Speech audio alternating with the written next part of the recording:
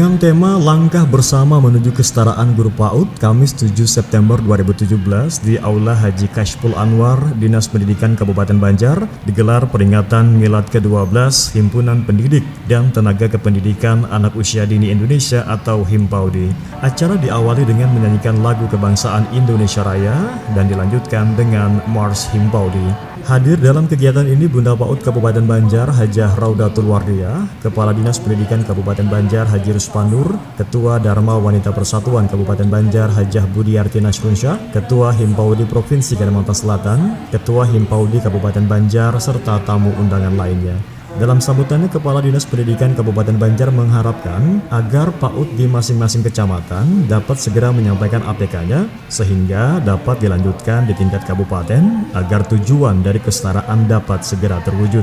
Sementara itu Bunda PAUD Kabupaten Banjar dalam sambutannya menjelaskan tentang pentingnya peran guru PAUD dalam pendidikan, mengingat anak usia dini adalah generasi emas dan agar nantinya anak memiliki wawasan yang luas serta menjadi pribadi yang unggul.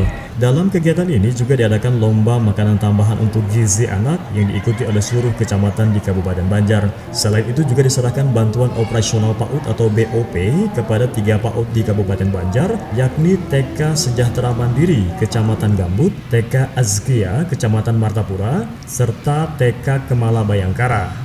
Juga diberikan bantuan lainnya yang diserahkan oleh Bunda PAUD Kabupaten Banjar.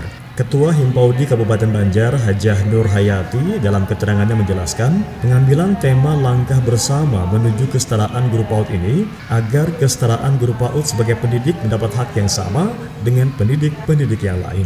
Uh, sebenarnya gini karena ada uh, undang-undang guru dan dosen itu bahwa semua guru disamakan uh, sama tetapi dari guru PAUD itu belum dimasukkan yang PAUD non formal itu di, belum disetarakan dengan guru-guru PAUD formal. Oh, yang termasuk PAUD formal itu adalah TK.